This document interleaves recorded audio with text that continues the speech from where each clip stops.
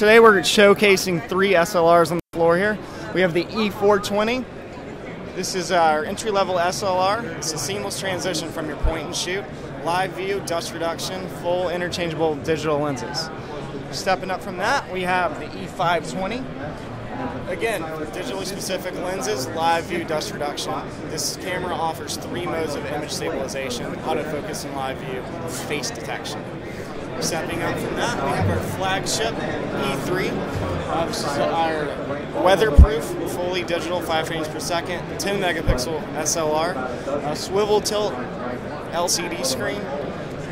It's, um, it's, it's built for the rugged professional. We're also introducing uh, for the first time on the floor our new 9 to 18 wide angle lens. This is an f4 consumer grade lens.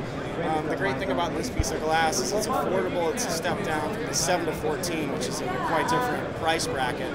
But this can offer image stabilization at a wide angle, which a lot of our competition cannot do. Here we have a prototype for a new uh, digital SLR. Um, at this time, this is really just a technology announcement. Um, this is designed to fall in between the E3 and the E520. Um, you'll notice you have, we had now have the swivel LCD screen, um, a very rugged look and feel to this camera.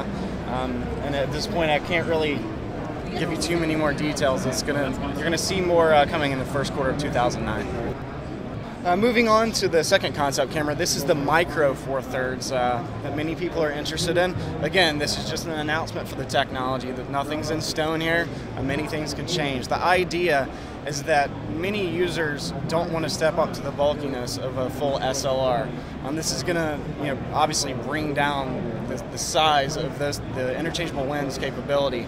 So. Um, one thing I'd like to point out before going further is this will include an adapter so users will be able to use their four-thirds lenses with the micro four-thirds system.